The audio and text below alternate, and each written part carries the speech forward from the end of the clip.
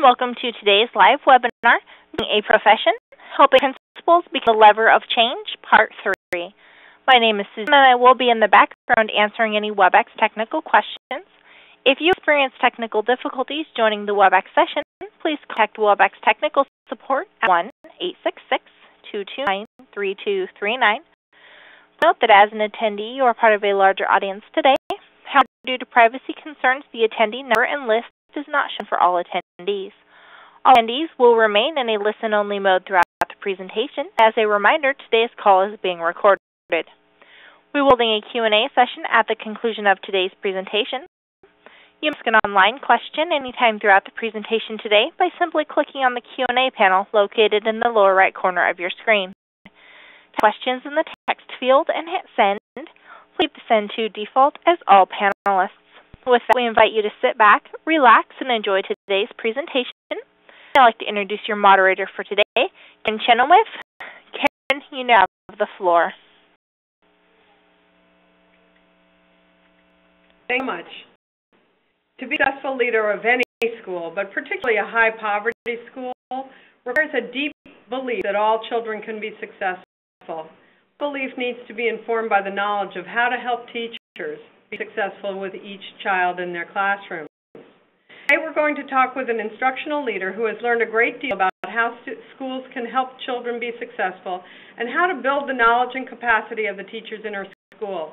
As principal and superintendent, Teri Brecheen led the tiny little one-room, uh, one-school district of Cottonwood, Oklahoma, where half the students are African uh, are American Indian Two-thirds come from low-income homes, and about 30% of the students have disabilities. There, it became one of the highest performing schools in the state. She is asked to bring these kinds of results to scale throughout the state of Oklahoma. What she has to say will be of interest to educators around the country. But before we start, let me introduce myself. I am Karin Chenoweth, writer in residence at the Education Trust. Here is Christina Theokas, who is Director of Research at the Education Trust. Together we wrote Getting It Done, Academic Success, Leading Academic Success in Unexpected Schools. Hello, Karina. Hi, I know both of us and everyone is thinking of the people of Boston and those who were injured in yesterday's horrific attack at the Boston Marathon. I just want to mention how grateful we are to many public servants and volunteers who help those in need. We're thinking of them even as we continue with our webinar. Many of you know it is the mission of Ed Trust to improve the academic achievement of all children, but particularly children of color and children who live in poverty. Part of our work here involves learning from schools that are doing an especially good job educating children of color and children who live in poverty. We are happy to be partners with the Wallace Foundation, who not only supported the key research that establishes the importance of school leadership, but is engaged in a major effort with six districts to try to systematically develop the schools, the, the school leaders our, our schools need. Today's conversation should be of interest to anyone grappling with questions of how we can help all our students, particularly those who live in poverty and isolation, a great deal, as, as well as how we can help all teachers learn what is necessary to teach them. Welcome, Harry. I'm really looking forward to today's conversation. Good afternoon.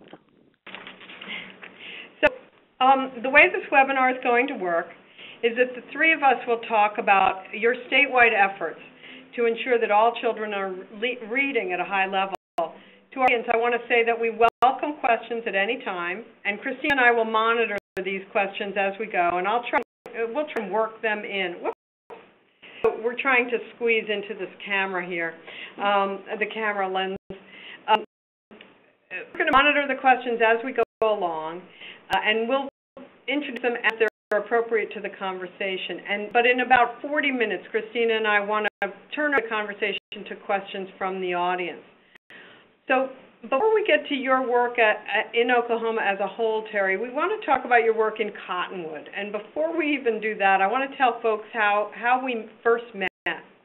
Uh, this betrays me as a complete nerd, but one of the things I do when I have a little extra time is I kind of spelunk through state report cards and state data um, to find schools that are kind of interesting. And as I was spelunking through uh, the Oklahoma data, I, I stumbled on the data for Cottonwood uh, uh, Cottonwood Elementary. And so I'm going to show some of the data, demographics of the school, and you can see uh, it's a third American Indian and another quarter multi-ethnic, and I think that's mostly uh, white and American Indian. Uh, about two-thirds low income. I should say about uh, when I was looking two years ago, it seemed to me it was closer to 90%. I think some of the oil fields have uh, reopened since the gas prices have, uh, the oil prices have up. Yeah. You have about uh, a little more than a quarter of your students are students with disabilities, which is about twice what the rate of the state is, and we want to talk about that a little bit. Um, so in, this, in the next slide, you'll see that it, in reading, Cottonwood pretty much uh, outperforms the state at every grade level. And uh, I could show it by ethnicity, I could show it by um, income, and you would see also that the, that Cottonwood does quite well in reading and in math. I'm showing this is the um, performance index that was used until 2011, and you can see Cottonwood was outperforming the state as well. Um, last year, Oklahoma went to a report card system, and Cottonwood was one of, I think this is correct, Barry, you can correct me if I'm wrong, but one of only two high poverty districts uh, to receive an A rating. So very intrigued by the data, and I called and asked if I could stop by um, on my way to a speaking engagement somewhere else in the state. The principal said that was fine and drove to Cottonwood, just a, a uh, just outside the town of Colgate in Coal County, about 120 miles southeast of Oklahoma City. And the campus is dominated by large steel frame buildings, similar ones you would find on maybe a poultry farm. Uh, and Teri, when I got there, you were you were there as well as um, uh, as well as the current principal and superintendent, and you helped. You, three of you showed me around the school. Um, can you can you um, say heard about me? Here, here, here. The three of you were all walking over to the science building. Can you can you say why you came? Because then you were already retired, right? Yeah, um, John Daniel, who is the superintendent uh, at the school, um, he called me and said um, there is a lady coming uh, that um, has done research on Cottonwood School, and um, she wants to know the history. And so I'd really like for you to come up because you are the history. So mm-hmm. I said, okay. Uh, and so he told me the day that you would be there. So when I came up, all I knew was some person had, was coming in, had done research, and had been watching some things about the school. Uh, and so I just came up to answer questions that John wasn't the to the action because he was not there during that time. Right. So so um, so here we were walking to the science building. We're going to show what it looks like inside the science building. This had been the gym, and you you transformed it to the science uh, to the science building. Is that right? um, uh, we decided that uh, there was a grant opportunity that came up, and um, so made the gym wasn't in the great shape anyway, and so but it was in great shape to make a science lab out of, and so we decided that to be able to house this equipment we had to have a building and it was the only building we had that would do what we needed to do. So we decided to transform it uh, into uh, basically a STEM lab uh, for three-year-old through eighth graders. And the kids played in the street um, instead of in a gym uh, and that's a tough thing to do in Oklahoma to take away the gym.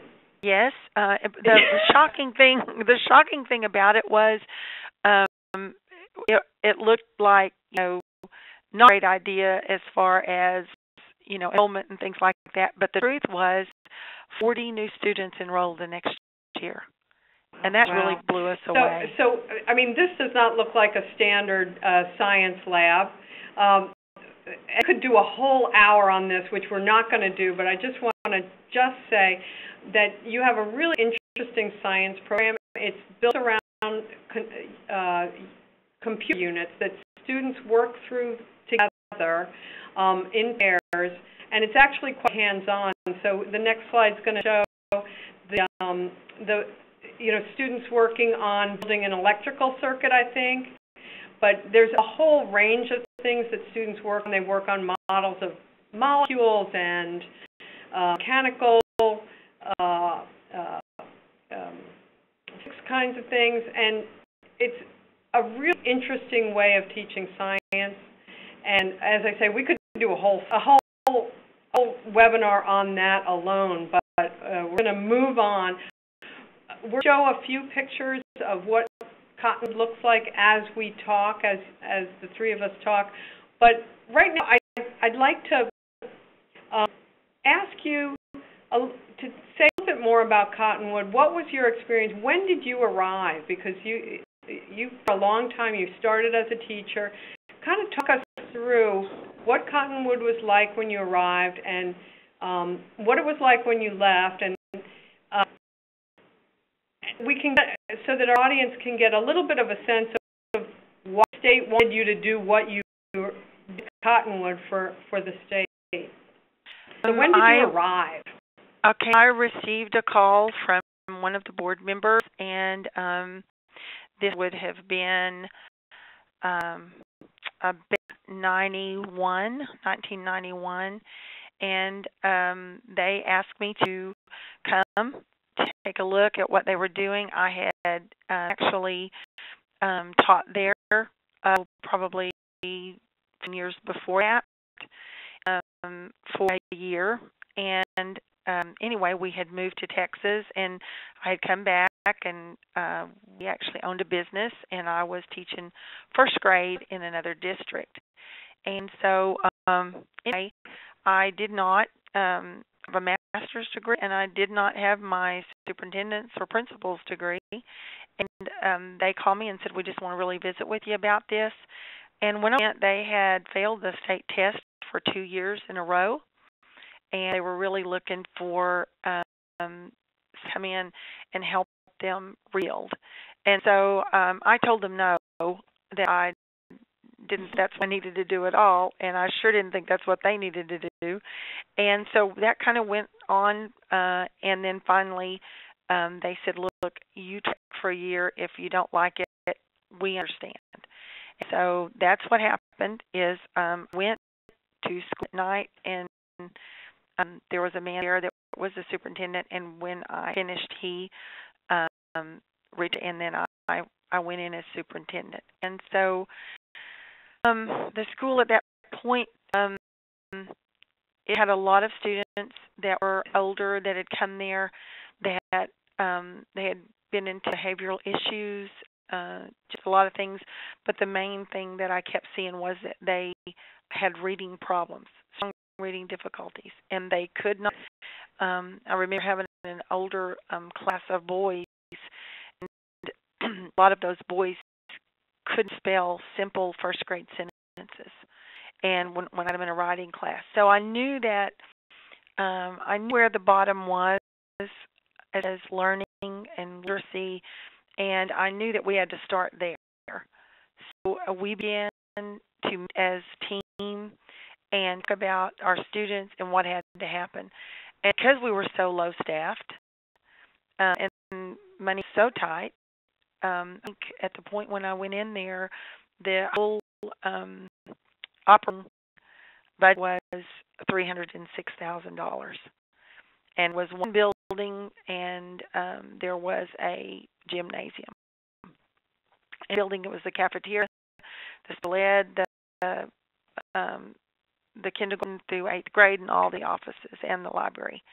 And so we just started there and began to uh, meet as a team to say what needs to happen here. We saw the needs of the kids.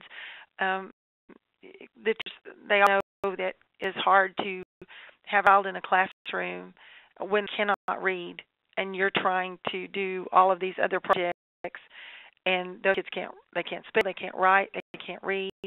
And so we decided to start right there and build the school and and, and transform the literacy starting from the bottom to the top. And so we um, visited with our O and and told him some of the innovations. You better say what an RAO is.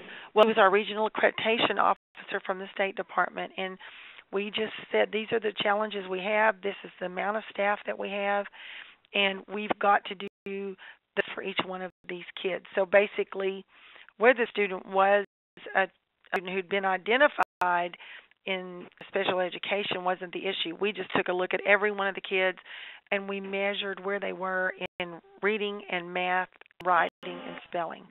And we made sure that during the morning hours that that's the classes that they got into was to we had to fill the holes. And so um, we designed our schedule to where each one of those children, or what age they were, they were somewhere where the skill that they needed was being taught, monitored. So um, that's exactly what we did from the bottom to the top. Um, was make that strong literacy piece was um, foundationally sure in each one of those kids' lives. You, talked to me once about starting from zero uh, and getting to zero. Can I uh, explain what you mean by that? Yes. So basically, when you know when we look at a child, a lot of times, you know, we've looked at them as well this age, and so they should be in this grade doing this this. But this is every child is a unique individual, and so we don't know Bill's age at all what it is they really are confident in doing. So um, we, when we would give them um, just assessments, we would find out where they were, and we started at zero. We had to see from zero on up in math and writing and spelling and reading where where are they on the continuum of those foundational skills, and we came to the place where they were erupted in their confidence and being able to do it independently, we knew that was where we had to start. Really different approach than had been going on in the school previous to that. How did the staff to this this big change in instructional approach? The staff was absolutely thrilled because what they had had in, in place of this was, say, in a fifth grade classroom, and they've got a textbook and it you know they're supposed to be teaching fifth grade standards and they've got kids that are ahead of that and they've got kids that that even know um first grade literacy and so those teachers were they're very caring uh group of people and they wanted all of those kids to learn. Yet they're just one person trying to meet all those various needs. And so it really took the pressure off of them. Um, they in fact they were part of the decision making when we began to do this. You know a good teacher knows where students are and and or his students are and they all feel overwhelmed when they go home at night that they didn't get to this particular group of students let's focus on diagnosis and assessment of where students are was, was really positive for the teachers but you said when you started there that um, you had been a teacher, um, but you didn't have principal or superintendent certification. How did you know what to do? How did you know how to help the teachers be able to do this? I think the biggest part to me was um,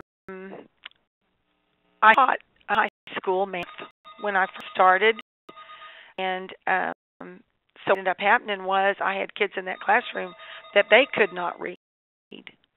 So I I knew that I would try I was trying to teach algebra, but there was no way. I I the kids they didn't have foundational skills of multiplication, were missing addition, and right there I could see that what they learned previous to getting in your classroom depends how far you can take that child.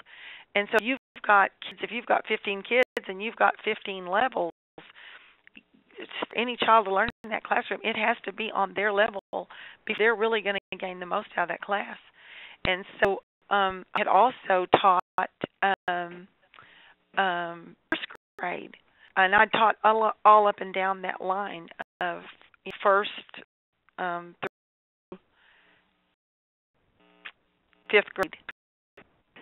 And, um seeing the differences there and then I taught the 6th grade you know through the 10th grade and seeing the differences there. And I taught the gifted I taught the remedial classes I taught the regular classes.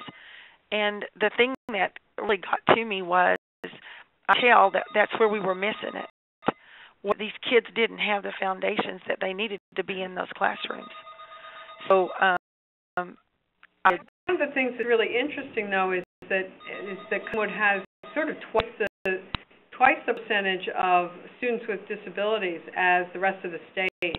Can you tell why that is and what the um Yes, absolutely, yeah. Karin. So there's only 20 kids in our original district, and so we began to I said it was an itty bitty district. it was, and we began to work on. We had 71 students there at the time. We began to work. Most of the kids had come, um, you know, by you know choice, but there were some that had come because they had been expelled from other schools or or were in trouble with other schools, and yet I felt like that anytime you put a child there, they don't have confidence, especially older they get, the worse they feel, and they are looking at um, public humiliation every day when they walk in that classroom, and so like you know had to find out how to help, help them and how to help them know that they could that they weren't there was something wrong with them. So i guess the word spread and then people just begin to come from all over I to one when I was there, one parent came uh was there and talked to me about how his son who was in first grade the teacher in, a different district had said, "Well, he's just not learning how to read and um I'm not sure what to do." And he was kind of with his at the end of his rope brought him from I think it was uh, kind of 30 miles away, I think. Not yeah, I think it was Atoka or A or I, I'm getting lost in the A um uh cities In in A. in Oklahoma. but um uh, but he s- he said when arrived at Cottonwood fast and and the parents were told exactly sort of what the plan was from then on and he had caught up it sounded like 2 years worth of worth of reading in um a very amount of time. And you've said you think kids can catch up three, four, five years even in a year if they're given the right instruction. if they're given the is right instruction.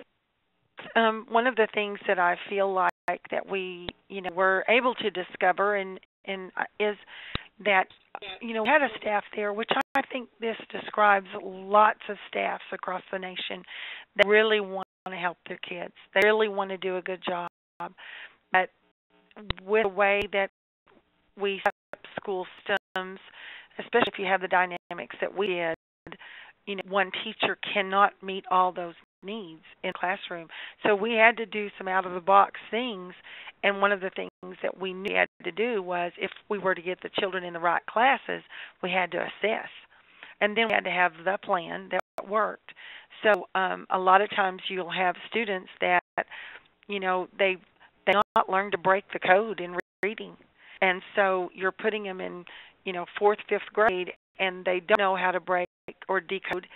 And so there's nothing there for them to be able to attack a new word. And so it just puts them at a place of a complete stall out and going to most stu- students are either going to be shy and just hope nobody calls on them or they're going to act out so you know i could see on both sides of the fence that the confidence to students who really know what they're doing those are the kids that can start to dream about what they want to be in life and the rest of them are sitting there in those classrooms just hoping no one calls on them or just make sure that they can get through one more day. Right. So I want to I want to transition. Um, I, I, Christine, I want to transition to your state role, but before we do, have a couple of questions about what assessments you were using to determine the literacy levels, and um, what the what your um, you used any programs, if you uh, and and what kinds of professional development you you supported the teachers with. one of the things that we did was um, we did use um, um, there. We're here. Okay. Um, one of the things is we um, actually were able to, um, and we we went in with the literacy part with, with DIBELS, and we would assess, and it was like to me it was a thermometer that actually gave me um, what uh, if the child you know had anything wrong in reading, it would show up on that test, and then we would take diagnostic tests if if we could unlock it just by having the DIBELS, then we would take a diagnostic. There's a test uh, called Literacy First that was very good in phonemes uh, and would help us, uh, you know, to assess that to see exactly what was going on there. And so um, we were able to um, help the kids know exactly what level of reading that they were on, and then we would place them accordingly. We had five or six different programs that we used there, and we had that many tests really that we used there, and it depended on the child what test we used. And then another fallacy I think that happens, um, you know, we look at tests sometimes and we think they all do the same thing, but nothing could be far from the truth. You know, uh, they all have certain things that you really need to measure, and that's the reason that you use that particular test. Well, that gives a sense of the complexity of, of the way you think about reading, um, and and so, but we kind of try to try and transition because we want to get to some other questions. Uh, so Cottonwood became well known within the state, and you were asked to head the state's efforts, efforts in literacy and early childhood. Um, to give a little picture of the magnitude of the problem you are tackling, let's look at a little data from the National Assessment of Educational Progress. Um, you can see here in this slide, this is showing just fourth grade reading, and you can see over about the past decade, there really hasn't been much change um, for the state. So the state has been fairly flat um, in improving its literacy efforts. Um, and this contrasts rather starkly um, with the improvements in fourth grade math. Um, you can see that fourth grade math really improved pretty significantly from 2000 to 2007. It has since leveled off it, it really is very different than that, that flat um, lack of progress in, in reading. Um, and the result in reading um, is that Oklahoma is considerably below the national average in reading. Uh, you can see where it is on this chart here. One in three Oklahoma fourth graders is considered below basic in reading. Uh, students of color are that much more likely to be below basic. So, when when you look at this data, and I think you did look at this data when you were asked to take this position on, uh, what what were you thinking? And when you look at this, what what's the state's goal around literacy? If you can talk a little bit about the strategy you're using to reach that goal. Okay. Um, one of the things that um, I have, you know, when, by teaching first grade, I tell that when I had those graders come in at the beginning of the year, there were tons of differences in those kids already. So I knew that the quicker you started with those children remediating, the quicker they would come up to level. And of course, research tells you that a first grader who is behind, you know, if not get the right intervention, those they will be behind in fourth grade. So um, there has to be strong intervention. And so, basically, um, one of the places we are so fortunate in Oklahoma to have an early childhood initiative like we do. Uh, when um, President was on State of the Union address, he mentioned um, two models, and one was Oklahoma and one was Georgia, as far as the pre-K. So we have the perfect setup to cause the kind of change that we're wanting to do. So basically, if you begin to remediate in, um, say, pre K, kindergarten, and first grade, you know, in second grade, you get about three times the gains that you would get if you wait till after that. Um, it's normal that a, an average child, even to your gifted kids, you're going to need about 80 to 90 minutes a day for reading instruction for them to gain at an adequate pace. And so you take a child that's a year behind, you have that 80 minutes that or 90 that you're doing that day and you have to add another 80 or 90 somewhere in the day to make sure that those kids catch up with the year that they missed plus gain what you're doing that year.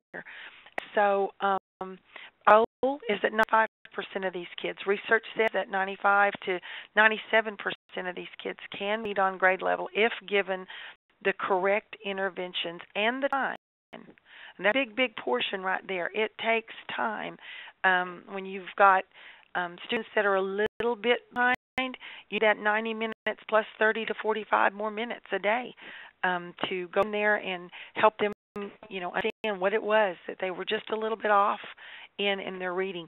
If you've got kids that are really struggling, you're going to need that 90 minutes plus about another 60 minutes. You know, sometimes another um 90 minutes a day to catch them up. But the thing is, you set your mind to do whatever it takes. You you decide, you know, you find where the child is, you find out where if they're on level or below level and you start where they are and you start to build that. And a lot of the districts aren't set up in their schedules and with that kind of time. And where speaking is a natural ability, reading is not. Has to be learned. And so children play um, their ability to read in different parts of the brain, and where that ends up depends on a lot of times the time it's going to take to learn a certain skill. And so, um, basically, uh, we're trying to. Uh, we have right now um, 35 to 40 percent of our kindergarten through third graders that are not reading on grade level. We hope to drop that to um, three to five percent that are not reading on grade level. And the key to me is to start at that pre-K level, um, find where those kids are, get the language essentials. That's the biggest part of reading. It's uh, the phonological awareness. If language skills are taught and and learned by those students, that is 90% of the battle for reading. You've outlined some really clear goals and some pretty ambitious goals that you have. We hear your confidence, which is really exciting to hear. But one of the things that you said as you were talking is that districts aren't really set up to provide the time necessary for the students to be able to, to catch up or to accelerate their learning. How are you working from the state to help districts be able to make those changes? Well, we have encouraged them to take a look um, you know, what research says, and so um, we have 60 um, coaches, which were some of our teachers in the state, and we have divided the state up into 30 geographical regions. We have two reach coaches in each one of the regions, and so um, Louisa Moats, who is a, one of the authors of Common Core, she wrote the Reading Foundations piece um, when we went to looking for models to um, set the state um, uh, personal development into, we saw this, and so uh, those Sea Reach coaches they come to um, the state capital there um, once a month now and go through a week of training and then they go provide this to their districts. There's 15 modules in this, and it's a methodology. It's not a program. It's a methodology on how to reach all children. It has this research behind it, the brain research, and it ties right to it is a piece of Common Core already. So with this one um, piece of intervention, we're able to hit the Common Core uh, at pre-K through um, third grade um, in the Reading Foundations piece, plus um, give great professional development to all of the districts that are wanting to change some things. Those reach coaches, they come from those areas, live in those areas, and they're homegrown. And so they go around to the schools and they anything from going into the classrooms and giving one-on-one modeling for the teachers to doing um, professional development to a group of teachers to doing professional development for um, a region. So I so a couple of things I just want to clarify for for the audience. The Common Core standards, of course, are the standards that have been adopted by about 46 states that um, will be across uh, those states. They give kind of some clear direction in both literacy and math for instruction, which has never really been uh, the case across the country before. And Oklahoma is one of the states that has adopted Common Core, and um, there will be assessments uh, coming online over the next few years, just to catch people up in case they they weren't uh, used to that. And I also wanted to mention Louisa Moats, who who um, as one of the authors of the Common Core literacy standards, is a very well-known researcher in reading and has been for a very long time and has provided a lot of professional development across the country. Uh, so, um, I, I, so she has really provided a lot of the of the professional development for your reading coaches. So the knowledge and skill of reading teachers throughout the state. I mean, kind of laid out how that's gone. What about the leadership necessary to implement these changes? I mean, the, the question of time is so crucial for school district leaders, and you, you raised it right, you know, right up front. Kids who are behind need extra time. How are you bringing them along to understand these these time needs? There is, um, we do regional trainings across the state. We do it in 10 different areas across the state. And so we do an administrator's um, professional development within those, and we talk about this portion of reading. We talk about math, science, social studies, their role as an instructional leader. Um, this next year, part of our initiative for literacy is that we will um, be asking um, students and principals who want uh, a, a, training in reading and reading foundations and how to transform their schools. They will be given an opportunity for once a month to come to professional development. Um, and actually, um, I will be helping to lead that professional development. Interesting to hear you talk about your move from itty bitty school to the state level um, but to hear a very similar strategy, you're talking about recent evidence and then building the capacity and the will of staff to be able to uh, to do work. Yeah, I think the belief system finally has to come down to um, what you would do for your own child, you would do for your own grandchild. And um, someone was to tell me that um, there was a gap on my child or a cap on one of my children and I stopped there. I would keep going until I found the keys that unlocked what it was that they needed. I think we have to take that approach when we're looking at, at kids or when we're looking at a grade or a district or a or a state or a nation. These kids can learn, and we have we are the tools that can go in there and help them unlock these places. But we have to know first what we're doing, and that's the reason we're putting high emphasis on the early literacy. We want the teachers to have the tools in their hand to be able to help these children unlock whatever door it is that seems to be closed. Say the belief system. Do you feel like the belief system is in place in Oklahoma? Do Oklahoma educators feel all kids can learn and it's up to them to teach? Or do they are they more, you know, well, what do you expect?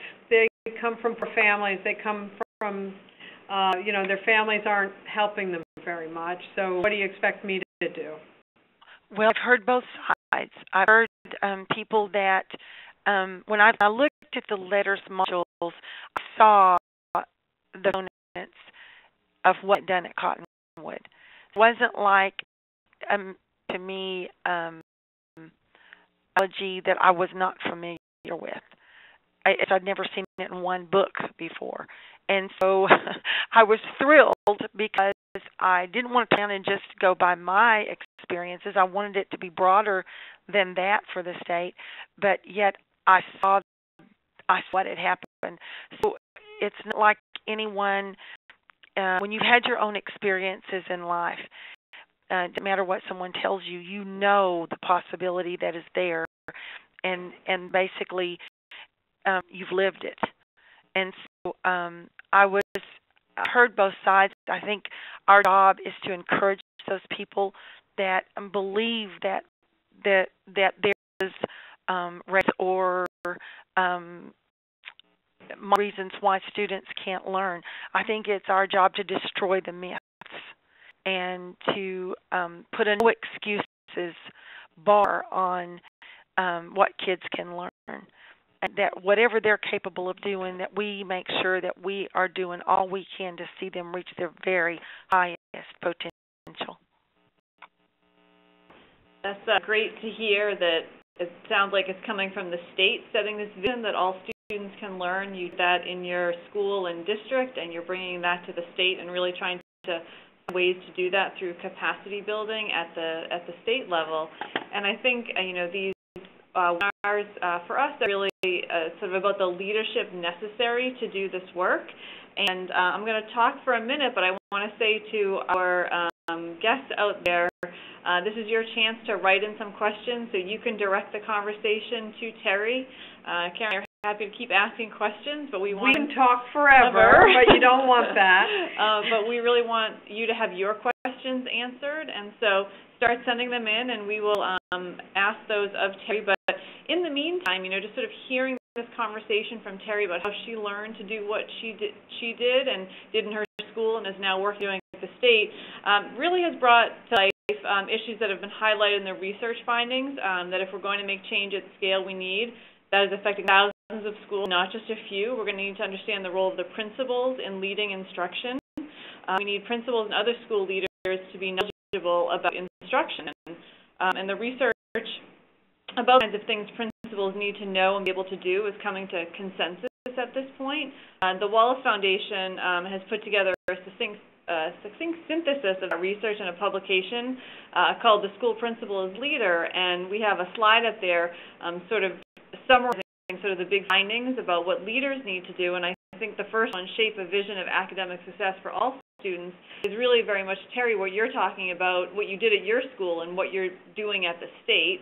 So talking about providing that, that vision um, that leaders need to do that within their own schools to take advantage of this capacity building that you're working on. You're trying to build the knowledge around literacy and how you go about building literacy skills, providing some of those tools through coaching, but also some of the assessments and diagnostic tools for, for teachers to be able to use. Um, but we really need that vision. That vision is primary in actually being able to, to get this work done.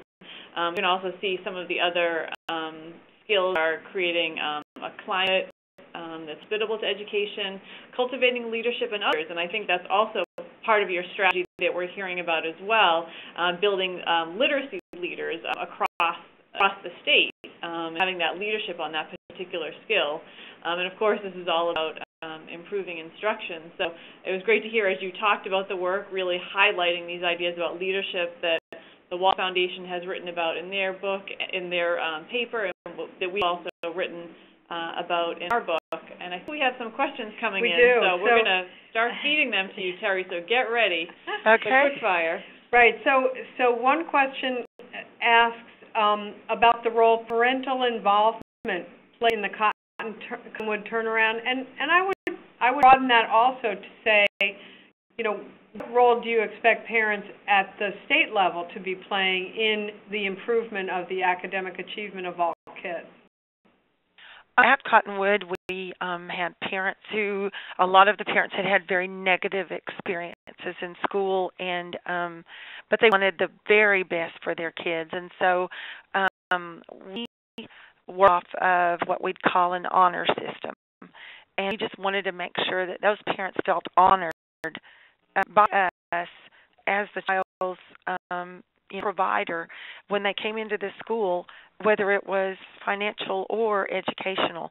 And so we would um, pull in the parents and ask them what they needed from us, and then we would share with them, uh, you know, things they could do with their children. Um, one of the things that I didn't mention uh, a while ago is that every Friday um, we had professional development at Cottonwood. And so the kids. So you would, closed school a half day early.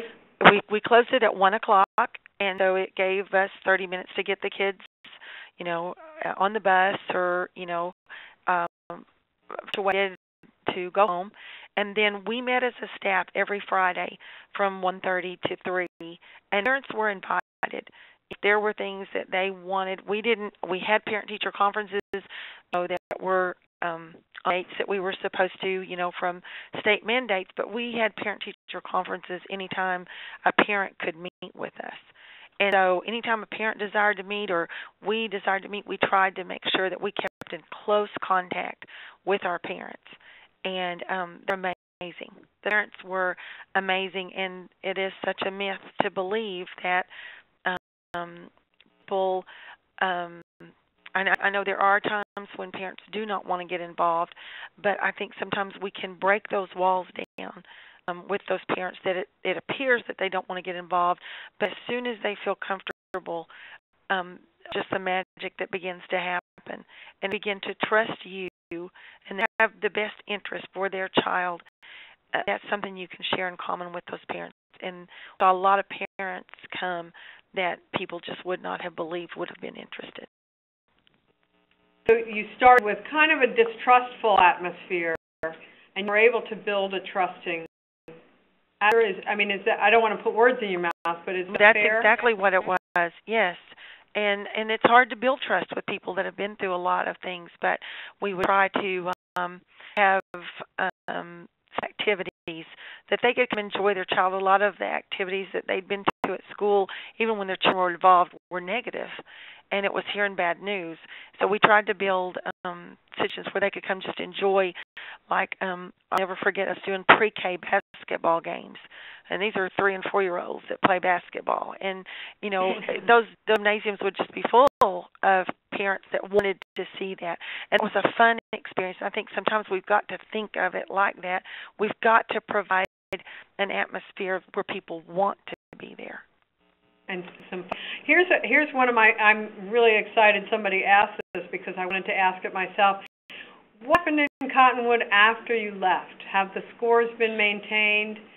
Did you personally so, select your successor, and if so, what did you look for?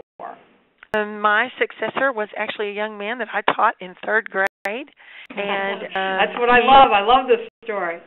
He is absolutely amazing. Uh, when I actually was his teacher in third grade, he was probably one of the smartest little boys I ever laid eyes on, and had tons of energy, and um, became actually um, a scientist, an environmental scientist, and worked in that field for 10 years and was excelling in that field and came back to me and, and told me that he felt like he'd missed his calling and um he was making a great salary much bigger than what he made when he came to the school and um actually um decided to come back and teach. And so um he did come on has an incredible heart for the kids and for the teachers and for the parents. And so um that school has not gone down since I left. That school has gone up since I left. Um I remember telling people um he has not purchased gasoline from the pump in 10 years. He makes his own. And I thought, now this is uh way out of my category here. And what am I doing running this school when this man makes his own gasoline?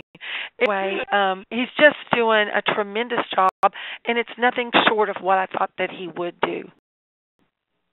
One of the things you told me was that you felt you had taken Cottonwood as far as you could and wanted him to take it farther, uh, particularly in science and engineering, which um, I, Frank, I'd like to do a whole webinar on the whole science and engineering program, and he uh, I have him do that. But um, but but you you felt you had done what you could at Cottonwood, and you needed to pass the baton. Is that right?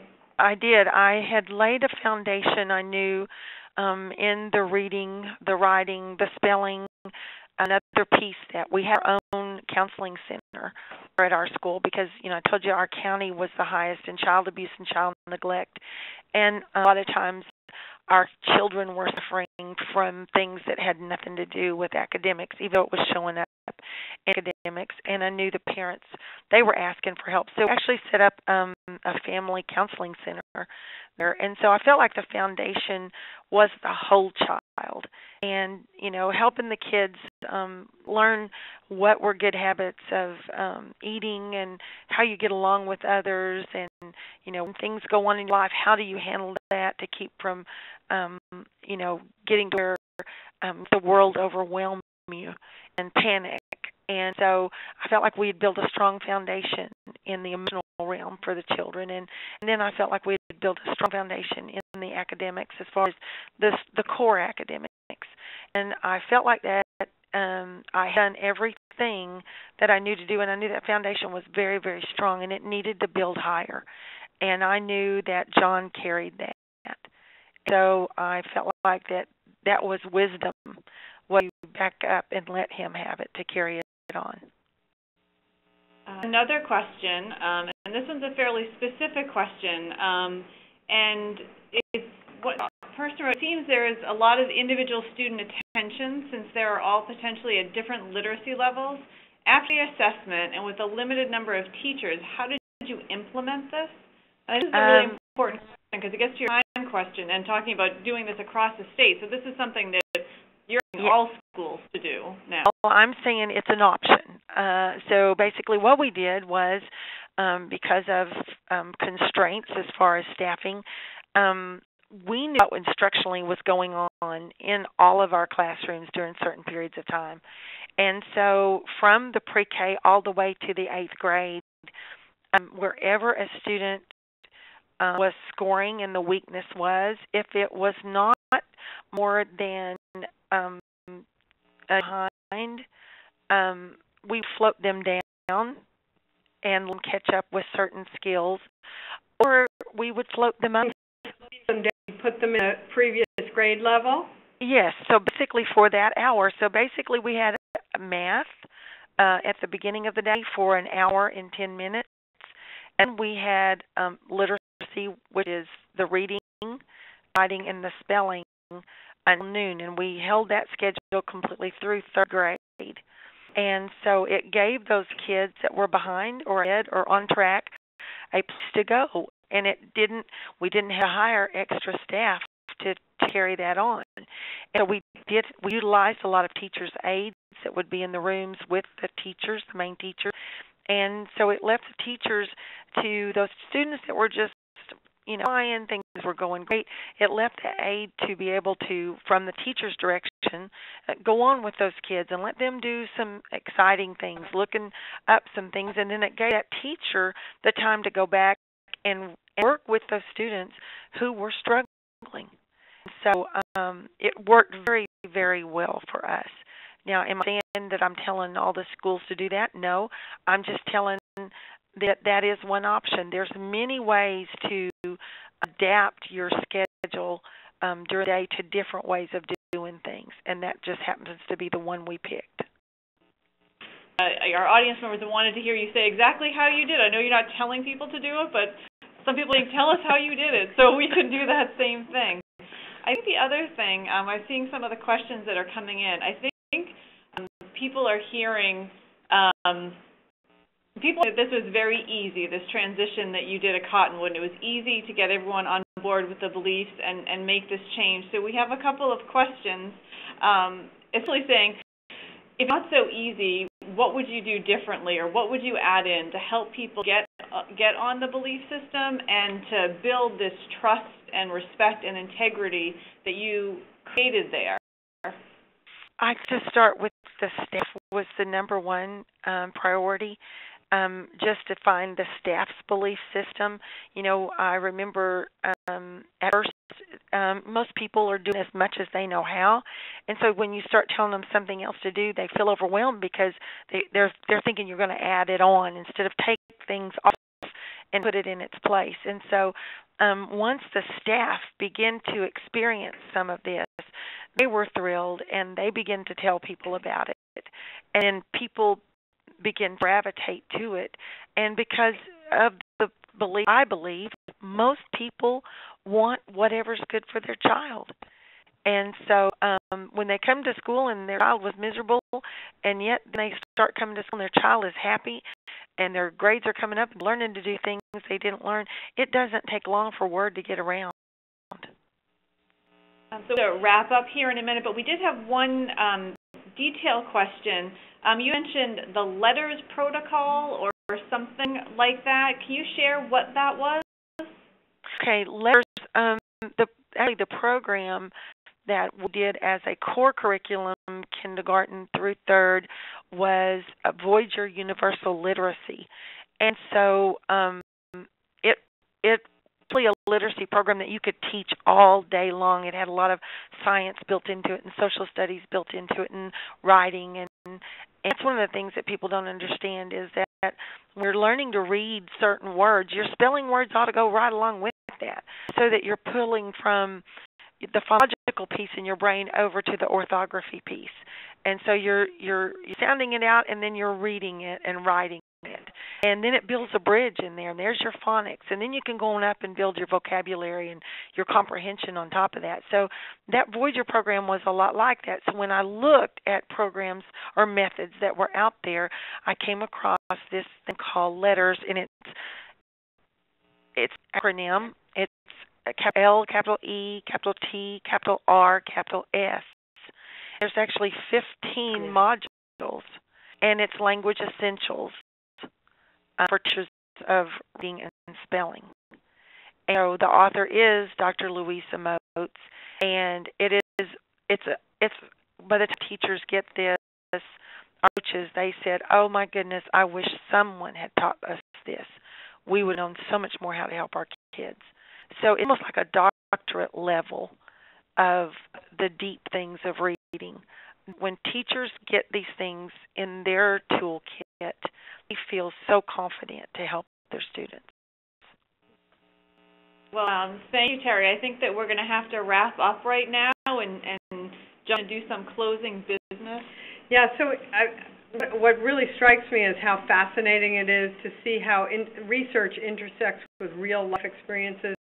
And we know from our work, as well as from other research, is that school principals matter a lot, and what they know matters a lot um, particularly for poor children and children of color who aren't always well served by their schools.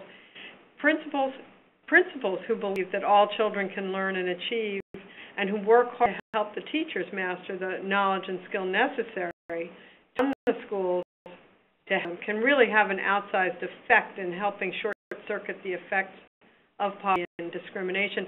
So, you know, you, you've been talking about yourself the teachers, the district leaders, everyone plays a role in helping make sure that all kids learn. And so, uh, talking with you has really um, highlighted this idea, and it's been an amazing conversation. We really want to thank you. If everyone listening will register for the next and last of the webinars in the series. In April, we will talk with Sharon Brittingham, who transformed Frankfort Elementary School in rural Delaware, um, and since retiring has been working to support principals throughout the state. Register for that webinar. Go to edtrust.org and look for the box on the left-hand side of the front page. It's not like the most obvious box, so you're going to have to look for it. Um, although Teri Brecheen was not Brecheen, oh my gosh, I, I mispronounced your name again. although Teri Brecheen was not part of the study that resulted in our book, Getting It Done, um, we hope anyone interested in understanding more about the beliefs and practices of It's Being Done School Leaders will read our book, available from Harvard Education Press and Amazon. And we want to thank the Wallace Foundation for supporting these webinars, which we're able to share them free of charge. And we hope, if interested in the issue of school and district leadership, they will go to the Wallace Foundation's website where they have a plethora of resources.